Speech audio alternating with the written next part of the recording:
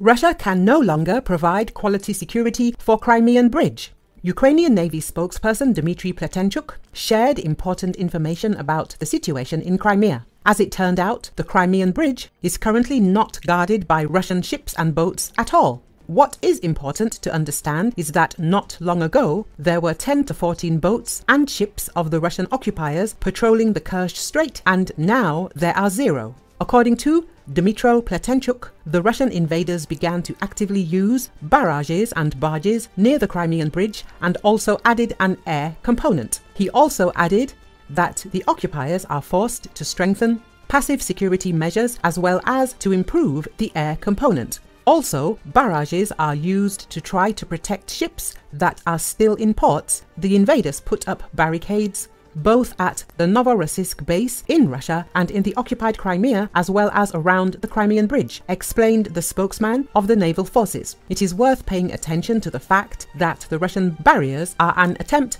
to protect against Ukrainian surface drones, but they have also become an obstacle for Russian shipping. In addition, Dmytro Pletenchuk commented on the tactics of the Russian invaders regarding the placement of barges and corner reflectors near the Crimean Bridge.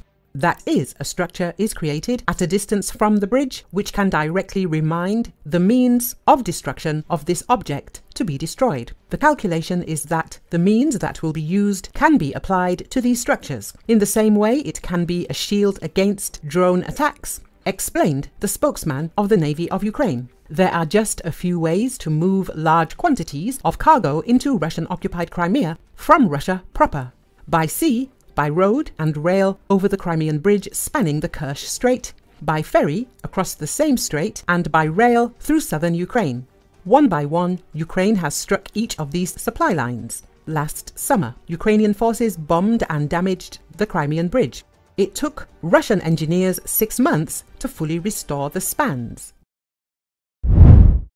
Ukraine can destroy Russian Tu 95 and Tu 22, a Ukrainian colonel called a miracle weapon. The Ukrainian Armed Forces colonel noted that it is critically necessary for Ukraine to have permission from Western countries to launch strikes with their weapons on Russian territory. The likelihood of making a positive decision for Ukraine was commented on by Colonel of the Armed Forces of Ukraine and military expert Petro Chernik in an interview with Glavred. Chernik recalls that a similar situation with Western countries' hesitation in providing Ukraine with certain types of weapons has been going on for a long time. In June 2022, when I was in the combat zone in the Donetsk region, US President Joseph Biden stated that he would not provide Ukraine with F 16 fighters because this would mean crossing red lines and further escalation. But time has passed and Biden decided to take this step, and we will have F 16s. There is a hope that by early to mid summer, the fighters will be operating in Ukraine. If this happens, it will be a tremendous success for us, Chernik said. He adds that the situation is similar with long range missiles. Of course, we are interested in ATACMS with a range of 300 kilometers, but the Ukrainian Armed Forces colonel notes that it is worth paying attention to the missiles that are used on F 16,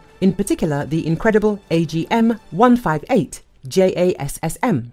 There are configurations that allow you to strike enemy targets at a distance of up to 900 kilometers, the expert noted. According to him, a strike by five ATACMS missiles on Russian targets in the Donetsk region, in particular in occupied Mospino, led to the destruction of at least three S-300 stroke 400 launchers, a radar and a combat control vehicle. This incident indicates serious problems for the enemy with anti-aircraft missile cover, and the AGM-158 JASSM missile with a range of up to 900 kilometers can easily fly to the airfield in Engels, where the strategic attack missile carriers are based. Tu-95MS, Tu-160 and Tu-22M3. The ability to strike with such missiles can radically change everything, he notes. However, he notes that another example of a Western reaction should be kept in mind. Almost a month and a half ago, the information space was filled with militaristic rhetoric from Macron about the possibility of sending French troops into Ukraine, but this did not happen and the topic disappeared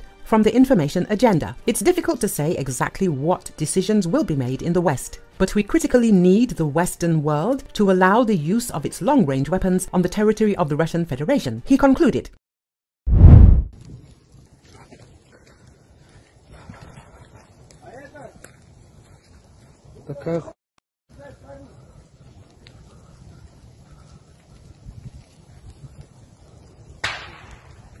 Все взрывается, он